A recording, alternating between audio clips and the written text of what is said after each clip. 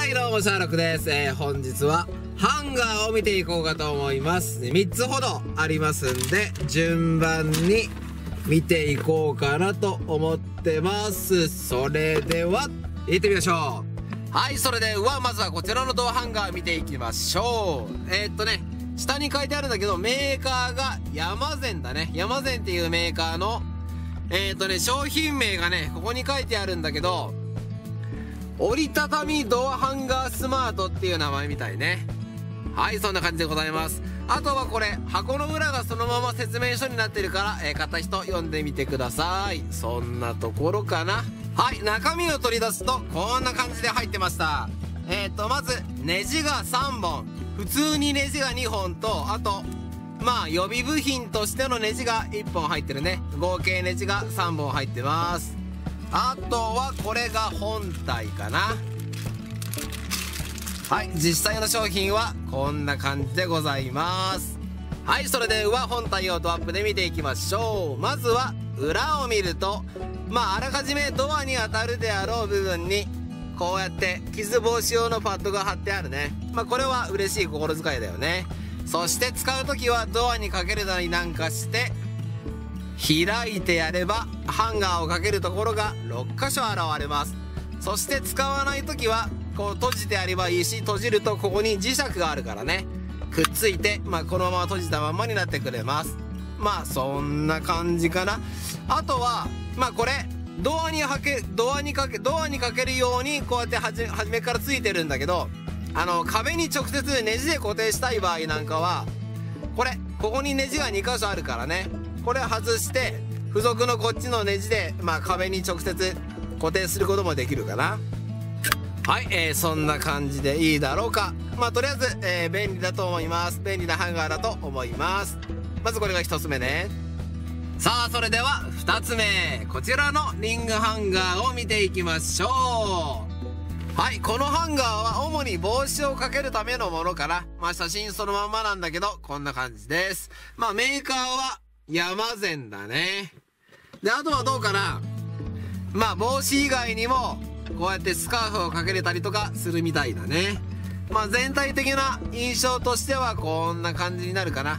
針金を組み合わせただけっていうまあ印象かもしれないけどこんな感じのハンガーでございます。じゃあね早速中を出していきましょう。はい中身取り出すとこんな感じの商品が出てきました。まあここに帽子をかけるんだね。そしてこのリングを、まあリングハンガーこうやって繋いで使うことになるかな。そして一番上になるであろうハンガー部分には、またこうやって特別にかけるところもついてるからね。ここに、まあこれは直接ネジで固定するためのフックなんだけど、あと付属品として入っているのが、まあクローゼットとかにかける時なんかはこういうフックがあるからね。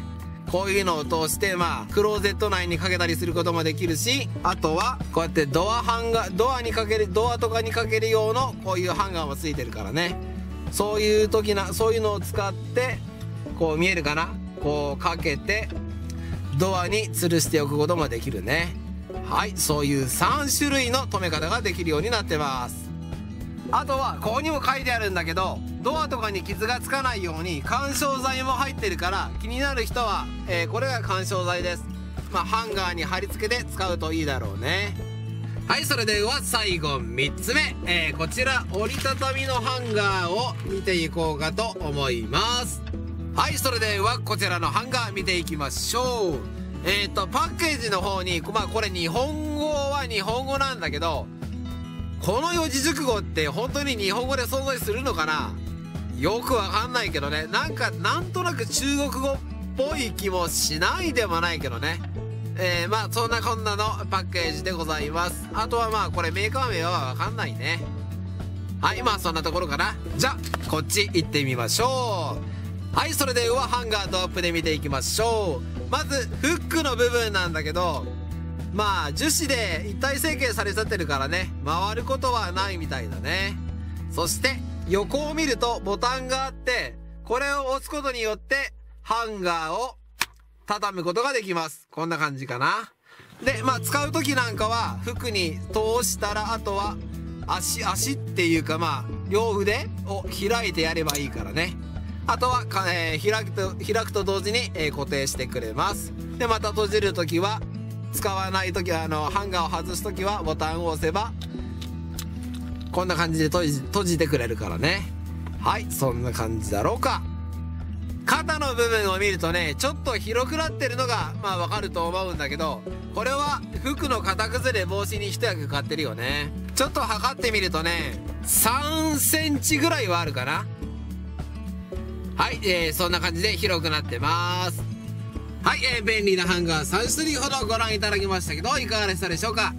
えー、最後の特にこれなんかねあの T シャツかける時なんかは首が伸びちゃうからね普通にかけるとね。こういう折りたためるやつがあったりすると、えー、首が伸びなくて、えー、T シャツが長持ちするんじゃないでしょうか、えー、そんな感じでございます。まあそれぐらいかな？以上でよろしいでしょうか？えー、それではまた別の動画でお会いしましょう。チャンネル登録もよろしくお願いします。バイバイ